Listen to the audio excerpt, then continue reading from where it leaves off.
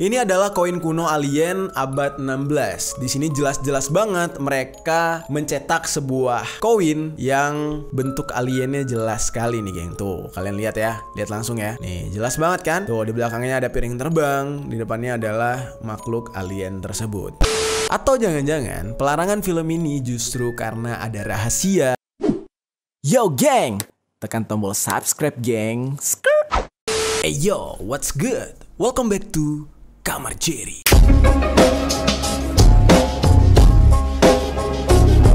Gang gang. Membahas tentang film. Di dunia ini banyak banget sebenarnya film-film yang dilarang untuk tayang layaknya film-film normal gitu ya. Adapun film-film tersebut bisa aja kayak film yang mengandung konten dewasa, terus juga konten yang eksplisit seperti terlalu vulgar dalam melakukan hal-hal kejam gitu. Itu biasanya nggak boleh. Tapi film-film tersebut memiliki tempatnya tersendiri gitu kan. Tidak boleh ditayangkan di kalayak umum, tapi bukan berarti tidak boleh ditayangkan di semua platform. Jadi dia punya platform khusus kalau orang ingin mengaksesnya gitu kan. Nah, tapi kali ini film yang akan kita bahas sedikit berbeda nih geng. Ini bener-bener sebuah film yang ekstrim Tidak boleh sama sekali ditayangkan di alam semesta jagat raya ini geng. Namanya One Anunnaki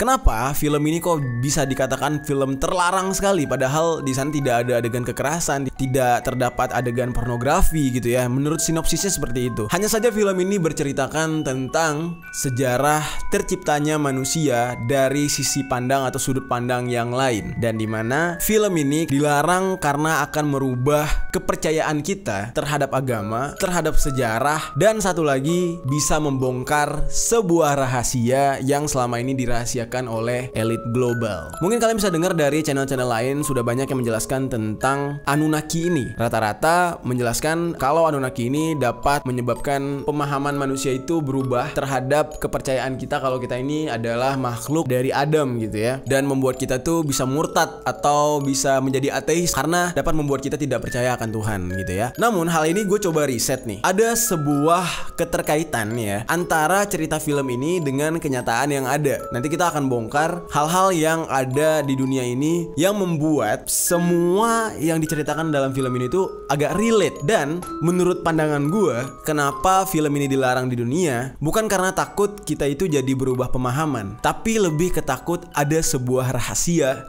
yang terbongkar. Menurut gue, menurut yang dari gue lihat, nanti kita cek satu-satu. Film One Anunnaki ini bercerita tentang perjalanan peradaban manusia, yang di mana nih ya banyak versi, banyak cerita tentang sejarah keberadaan manusia di muka bumi. Kalau secara agama kita percaya pada terciptanya Adam dan Hawa, tapi secara teori ilmuwan ada teori Darwin yang katanya kita berasal dari monyet, begitu ya, dan banyak hal lainnya gitu. Nah, di One Anunnaki ini kenapa dilarang? Karena kabarnya orang-orang yang berpengaruh di dunia ini tidak ingin sejarah keberadaan manusia yang sudah kita percayai berabad-abad lamanya gitu kan itu berubah hanya karena film ini. Nah, film ini diangkat berdasarkan sebuah kepercayaan dari bangsa Simeria tentang keberadaan manusia pada awalnya itu asal muasalnya dari mana. Nah, para bangsa Simeria ini percaya di masa kuno nih ya, di masa dulu, peradaban manusia itu ada disebabkan karena adanya invasi makhluk asing alias alien ke muka bumi ini dan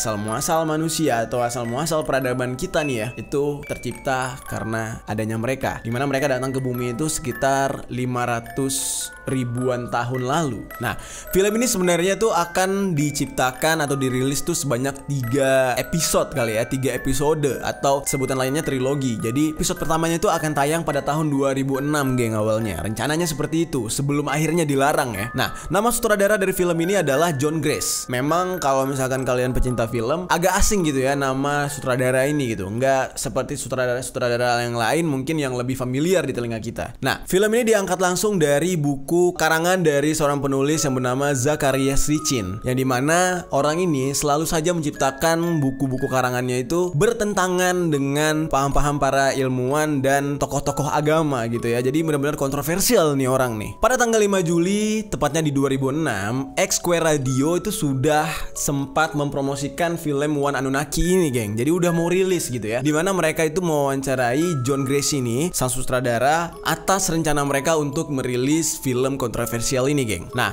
di sini saudaranya bilang kalau film One Anunnaki ini diproduksi oleh Universal Studios, yang di mana Universal Studios kan yang kita tahu ini adalah sebuah rumah produksi film yang sangat besar gitu ya, worldwide gitu, seluruh dunia juga dia jangkau. Jadi One Anunnaki ini bukan sebuah project film asal-asalan atau film-film kecil gitu ya. Nah, di film ini diceritakan bagaimana asal muasal para bangsa Sumeria tiba-tiba saja menjadi sebuah peradaban yang paling maju di dunia 6000 tahun yang lalu dan banyak yang kebingungan kok bisa gitu bangsa Sumeria ini yang jadi yang paling maju duluan gitu ya. Dan bangsa Sumeria ini mengatakan kalau ada sebuah benda mesin terbang di muka bumi ini, ini kejadiannya 6000 tahun lalu ya. Mesin terbang itu sudah ditemukan di saat itu bahkan jauh sebelum bangsa Mesir mencapai puncak kejayaan mereka. Jadi benar-benar sebuah alat canggih itu mungkin kalau kita nemu pesawat di tahun berapa tapi ternyata 6000 tahun yang lalu tuh sebuah pesawat itu sudah ada. Nah, di dalam film ini dikatakan kalau di masa itu bangsa Sumeria ini sudah mengenal semua ilmu pengetahuan dari mulai bercocok tanam, antropologi, terus sampai dunia-dunia kesehatan kedokteran, mereka itu jauh lebih maju gitu. Dan itulah yang membuat aneh gitu ya karena di saat itu bangsa-bangsa yang lain masih dibilang sangat primitif sementara bangsa Sumeria ini jauh lebih maju dari peradaban bangsa yang lain. Dan bangsa Sumeria ini juga paham betul tentang ilmu tata kota dan bahkan kabarnya semua tata kota di seluruh dunia ini itu adaptasi dari ilmu bangsa Sumeria ini, geng. Terus bagaimana bisa? Kenapa bangsa Sumeria jauh lebih maju, jauh lebih cepat mendapatkan ilmu ini? Di film inilah dikatakan kalau bangsa Sumeria ini mendapatkan ilmu pengetahuan itu dari bangsa Anunnaki. Alias Anunnaki ini adalah bangsa alien yang di mana bangsa Sumeria ini adalah bentukan atau ciptaan dari alien yang bernama Anunnaki ini. Nah, asal dari alien yang bernama Anunnaki ini adalah itu dari planet Nibiru atau planet X. Anunnaki sendiri adalah sebangsa alien yang berbadan besar atau berbadan tinggi layaknya raksasa yang dipercaya oleh bangsa Sumeria turun dari surga. Kalau bangsa Sumeria di saat itu percaya seperti itu ya, geng. Nah, bentukan dari mereka itu tinggi badannya itu sekitar 3 meter, kulit putih dan rambutnya itu pirang kemerahan. Dan bangsa Sumeria juga mengatakan kalau para alien ini datang ke bumi untuk menambang emas, membentuk sebuah koloni kecil dan juga mereka mengambil mineral yang ada di bumi. Nah, di dalam film ini dikatakan juga kalau kandungan emas yang ada di bumi itu menjadi rebutan atau menjadi sengketa para makhluk-makhluk dari luar bumi. Jadi sebenarnya yang hidup di tata surya ini nggak cuman manusia kalau menurut film ini. Jadi ada makhluk-makhluk lain dari planet-planet lain yang lebih dulu maju daripada kita dan mereka datang ke bumi untuk mengambil hasil kekayaan alam yang ada di bumi. Dan mereka itu kan datang ke bumi itu menggunakan pesawatnya mereka alias UFO gitu ya, piring terbang. Di mana mereka itu juga sempat membangun sebuah pelabuhan atau bandara tempat pendaratan pesawat mereka yang terletak di Iran dan di Irak. Nah, dikisahkan juga nih geng, para aliens ini bereksperimen dengan merubah genetik untuk menciptakan Homo sapiens dan Homo erectus. Nah, kalau kalian nggak tahu apa itu Homo sapiens dan Homo erectus itu adalah manusia purba yang selama ini kita pelajari. Di sini cara mereka memanipulasi genetik dan menciptakan sosok manusia purba ini adalah mencampurkan DNA milik mereka dengan DNA hewan, bangsa primata, monyet, kera, dan orang hutan dan sebagainya. Nah, untuk menciptakan Homo sapiens dan Homo erectus ini. Kalau menurut sejarah nih, itu kan yang dikatakan cikal bakal manusia gitu ya. Nah, berarti kan cikal bakal manusia di atasnya lagi ada yang ciptain ya ini menurut cerita One Anunnaki ini. Nah, stop sampai di sini dulu. Kalian nggak usah protes. Maksudnya, lu mau ngomong, iya gue percaya hanya kepada Allah Subhanahu Wa Taala, percaya kepada Yesus, percaya kepada Hindu, Buddha segala macam. Ya masing-masing agama. Gue gue paham. Lu semua percaya pada agama masing-masing dan percaya kalau kita ciptaan Tuhan dan asal muasal kita dari Adam dan Hawa mungkin ya yang kalian percayai. Tapi di sini apa yang gue bahas ini adalah cerita dari film ini, geng. Oke, bukan soal pemahaman gue, tapi cerita dari film ini dikatakan seperti itu. Oke, kita lanjut lagi. Tujuannya apa sih mereka itu bereksperimen menciptakan atau memanipulasi genetik menjadikan Homo sapiens dan Homo erectus alias manusia? Tujuannya cuma satu, yaitu untuk menciptakan budak di mana hasil genetika mereka dicampur dengan monyet yang tidak memiliki akal pikiran menjadi sebentuk makhluk hidup yang mempunyai pikiran namun setengah gitu kan, setengah hewan, setengah bangsa mereka gitu. Nah, alias berarti kan itu ibaratkan bad copy, bad copy kualitinya mereka gitu ya, produk kopinya mereka tapi yang uh, kecerdasannya lebih rendah. Tujuannya mereka menjadikan produk-produk tersebut menjadi budak untuk membantu mereka dalam menambang, bagian pertanian dan hal-hal lain untuk memudahkan mereka. Sama aja kayak kita sekarang. Untuk memudahkan kehidupan kita, kita nyiptain apa? Kita menciptakan artificial intelligence alias robot-robot untuk memudahkan kita. Jadi kita diciptakan oleh siapa, terus kita menciptakan apa lagi gitu ya untuk memudahkan kita gitu. Pasti timbul pertanyaan, kan banyak ya cerita-cerita atau film-film tentang alien ini. Nggak cuman One Anunnaki ini. Tapi kenapa cerita tentang One Anunnaki bener-bener dilarang banget gitu? Ada apa? Kenapa bisa berbeda dengan film-film lain? Kalian bisa cek kan film-film tentang alien tuh banyak banget gitu. Tapi nggak dilarang. Dan bahkan kalau memang dilarang ya disediakan platform yang khusus gitu ya buat yang pengen nonton. Tapi One Anunnaki kalau kalian cari sendiri pun filmnya tuh tidak akan pernah ketemu. Kalaupun ada yang kalian temukan itu cuma dokumentasi palsu yang judulnya dirubah doang gitu ya. Nah, alasan kenapa dilarang adalah film One Anunnaki ini memiliki kandungan cerita sejarah tentang bangsa Anunnaki dengan cerita yang sangat detail, akurat, berbukti yang dikhawatirkan akan merubah pola pikir manusia tentang sejarah yang sudah diciptakan selama ini oleh para ilmuwan. Jadi yang kita percaya selama ini asal muasal bumi, teori-teori terciptanya bumi, teori terciptanya manusia, itu takutnya nih ya, apa yang kita sudah pelajari itu berubah pola pikir kita gara-gara nonton film One Anunnaki ini. Dikarenakan apa yang dia filmkan itu detail. Kita bisa cari bukti-buktinya dan beneran ada gitu. Dan itulah yang ditakutkan oleh masyarakat atau para ilmuwan beserta orang-orang yang menyensor film ini. Itulah alasannya kenapa film ini tidak boleh ditayangkan. Nah, dan juga dikhawatirkan geng kalau udah nonton film ini karena film ini membubuhi sebuah teori kalau kita ini diciptakan oleh alien awalnya. Kenapa begitu dirahasiakan?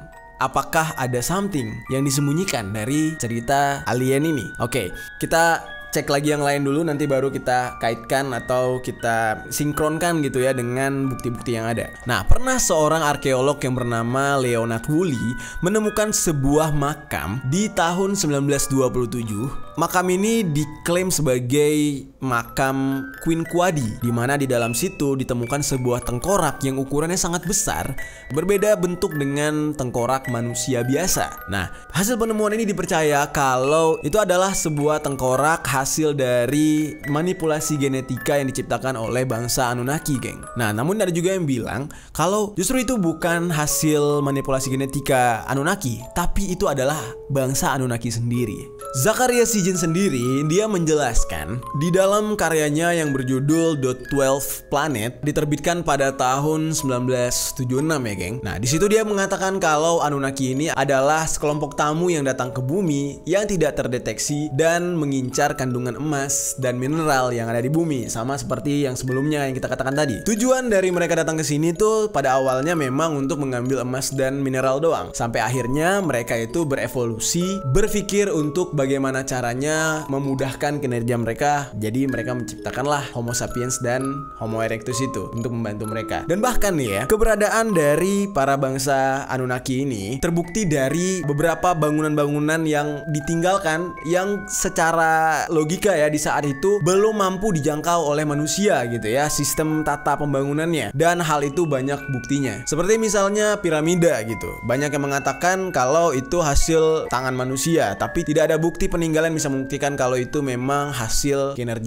manusia. Nah, dan dikatakan juga nih, geng, sebenarnya bangunan itu banyak banget peninggalannya. Nah, di sini dikatakan kalau hancurnya bangunan-bangunan peninggalan dari Anunnaki ini karena adanya fenomena banjir di zaman Nabi Nuh dan fenomena mencairnya es. Dan di saat itu hancurlah semua bangunan-bangunan peninggalan dari bangsa Anunnaki ini. Dan di saat itulah bangsa Anunnaki ini meninggalkan bumi beserta dengan spesies hasil perubahan genetika yang mereka buat yaitu Homo sapiens dan Homo erectus. Nah, menurut ceritanya seperti itu. Nah, dengan seperti itu, cerita dari film One Anunnaki ini mengatakan kalau nenek moyang kita sebenarnya adalah bangsa alien, ya kan? Di mana mereka lah yang menciptakan kita karena dari hasil genetika mereka dengan bangsa primata atau bangsa monyet tadi. Jadilah manusia purba. Nah, makanya film ini menjadi kontroversi dan akhirnya di rentang tahun 2010-2012 itu semua tentang film One Anunnaki ini dari website sampai media-media promonya itu lenyap, geng. Dihapus seketika di blog besar-besaran. Lalu seketika orang-orang yang sudah menunggu nih ya, sudah sudah menunggu film ini tayang, akhirnya marah gitu ya terhadap John Grace ini, terhadap sutradaranya ini karena dianggap wah lu bohong, lu udah bikin promo tapi videonya tidak kunjung tayang, filmnya tidak kunjung tayang gitu. Nah, nggak lama setelah itu, geng, pada tahun 2013 tepatnya pada bulan Agustus, tiba-tiba saja ada aktivitas promo film di sebuah akun YouTube yang bernama Anunnaki The Movie dan banyak yang menduga kalau ini adalah ulahnya si sutradara ini alias John Grace ini. Di sini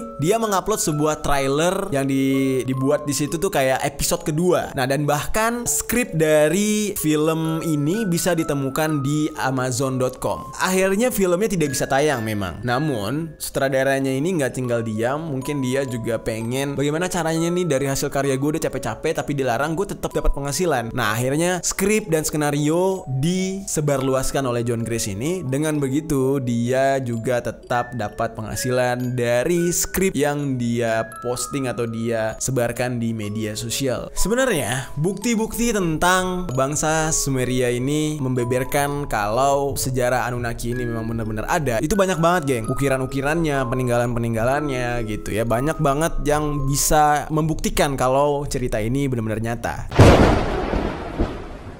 Karena hari ini kita membahas tentang filmnya, kita fokus nih ya, kenapa filmnya justru dilarang. Yang jadi pertanyaan gua, kenapa dilarang? Ada kabarnya katanya sih awalnya tuh dananya nggak cukup katanya gitu. Tapi nggak mungkin kan? Sebuah film yang kontroversi kayak gini banyak dibicarakan, banyak yang ditunggu, masa ia nggak dapat seorang produser, nggak dapat eksekutif produser untuk mendanai? Terus katanya juga bakal bekerja sama dengan Universal Studio. Nah, apakah benar ketakutan dari orang-orang yang melarang film ini tuh hanya karena takut kita itu berubah pikiran gitu ya terhadap sejarah. Benar karena itu. Masa iya sih kita sebodoh itu menonton film? Bisa aja kan kita anggap kayak ya film ya cuma sekedar film ngapain dipercaya gitu kan? Bisa aja kayak gitu. Tapi kenapa sebegitu takutnya gitu? Siapa orang di balik atau siapa dalang di balik pelarangan film ini? Kenapa dilarang? Kalau alasannya takut kita berubah pikiran atau berubah pemahaman, ya edukasiin aja, gitu. Atau jangan-jangan pelarangan film ini justru karena ada rahasia yang tidak boleh dibocorkan, yaitu tentang keterkaitan umat manusia dengan alien ini sebenarnya ada. Karena gini, geng, banyak banget bukti-bukti yang mengatakan kalau memang alien ini ada dan derajat dari alien itu dengan manusia dikabarkan lebih tinggi derajat alien dan apa ya mereka itu lebih pintar dari kita dan banyak banget nih embel-embel di negara-negara maju yang membuat logo-logo atau simbol-simbol alien. Salah satu contohnya adalah koin jadul atau koin kuno dari negara Prancis. Dulu ini mata uang Prancis. Nah, kalian bisa lihat ya di koin mata uang Prancis ini nih kalian lihat nih ini gambarnya. Di sini kalian bisa lihat adanya UFO atau piring terbang dan logo-logo keterkaitan atau keterhubungan antara dua planet di sini. Nih koinnya kalian bisa lihat ya. Koin ini berlaku dan beredar di tahun 1656. Nah, terus kita lihat yang lain lagi nih, geng. Ini adalah koin kuno alien abad 16. Di sini jelas-jelas banget mereka mencetak sebuah koin yang bentuk aliennya jelas sekali nih, geng. Tuh, kalian lihat ya. Lihat langsung ya. Nih, jelas banget kan? Tuh, di belakangnya ada piring terbang, di depannya adalah makhluk alien tersebut, gitu ya. Nah, ini mata uang yang lain lagi tuh. Jelas banget ya mata uang ini. Nah, sekarang jadi pertanyaannya, apakah benar koin ini diciptakan hanya sekedar hayalan atau karangan dari si pencipta desain koin. Karena kan di mana-mana ya namanya mata uang gitu ya. Gambarnya itu pasti mengandung makna dan mengandung sejarah ya kan? Pasti semuanya tuh ada sejarahnya ada asal muasalnya dari mana gitu kan. Nah kenapa di, sampai dicetak ke dalam mata uang? Itu artinya hal itu something yang diagung-agungkan atau yang dimuliakan. Contoh kayak mata uang kita ya presiden kita pahlawan kita bahkan Amerika juga kan presiden presiden mereka yang ada di mata uang mereka. Nah terus juga geng mata uang Amerika juga menjadi daya tarik tersendiri kepada para pencari teori-teori konspirasi di mana jejak alien juga terlihat di mata uang Amerika. Nah, kalian bisa lihat sendiri. Nah, itulah hasil dari sketsa orang-orang yang mencurigai hal tersebut. Nah, terus juga banyak juga bukti-bukti lain tentang keterlibatan alien terhadap peradaban manusia. Nah, di sini kalian bisa lihat semua peninggalan-peninggalannya ya. Nih, ada sebuah catatan zaman kuno. Ya kan? Terus juga kalian bisa lihat nih lukisan abad ke-15 ya kan namanya itu Madonna. Di sini juga pelukisnya itu melukis sebuah piring terbang dan di bawahnya itu ada orang yang sedang melihat ke atas. Para pelukis itu tidak semerta-merta berhayal doang. Pasti ada something atau kejadian di zaman itu yang menyebabkan para pelukis ini mempunyai ide untuk melukis hal tersebut gitu, geng. Terus juga keterkaitan para alien ini dengan piramida Mesir juga ada peninggalannya. Nah, makanya hal ini menjadi tanda tanya gitu buat kita semua. Kenapa One Anunnaki ini dilarang banget? Dan kenapa juga berita tentang alien yang footage-nya itu ya atau video-videonya itu banyak ditemukan di internet gitu kan. Itu sangat-sangat dirahasiakan dan bahkan banyak juga tempat-tempat yang dicurigai seperti area 51 gitu ya. Dan juga banyak juga terus juga ada fenomena crop circle gitu ya yang dipercaya itu adalah buatan alien. Itu seperti ditutup-tutupi oleh sebagian pihak. Nah, itu yang jadi pertanyaannya ya gitu geng ya. Dan bahkan film One Anunnaki sendiri sejarah tentang alien yang menciptakan peradaban manusia dan hal ini terdapat di sejarah peradaban Sumeria itu juga seperti dicekal banget. Gimana menurut kalian nih, geng? Apa hal yang membuat orang-orang ini sangat-sangat mencekal sebuah pengetahuan tentang alien yang diceritakan dengan detail? Coba tinggalkan komentar di bawah.